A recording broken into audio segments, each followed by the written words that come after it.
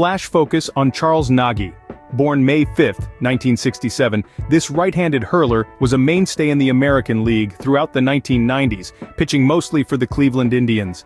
Nagy was in driving force, securing three All-Star selections, including the starting honor for the 1996 AL team, and steering the Indians to two World Series appearances in 1995 and 97. Known for his precision and reliability, he racked up 129 career wins and over 1,200 strikeouts, a testament to his irrefutable prowess. And his nickname, the Nagyator, a nod to his relentless grit on the mound. Here's an interesting tidbit.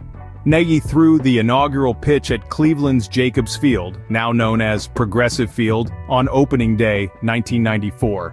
Forever engraved in the chronicles of Cleveland history, Nagy remains a symbol of perseverance and excellence.